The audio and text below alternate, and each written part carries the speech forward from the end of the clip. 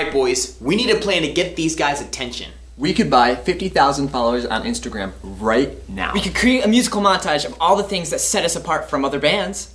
I got it.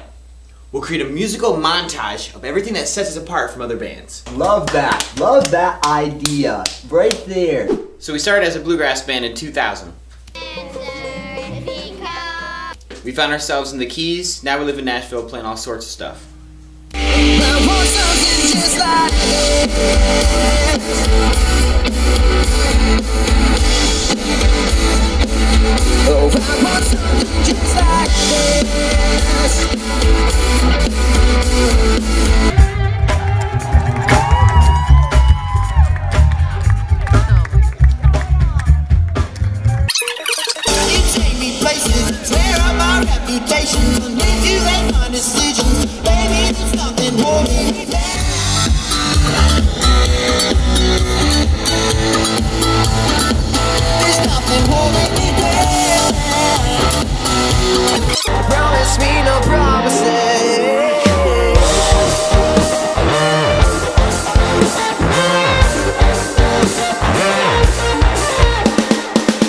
Here's some originals that no one cares about. I should be your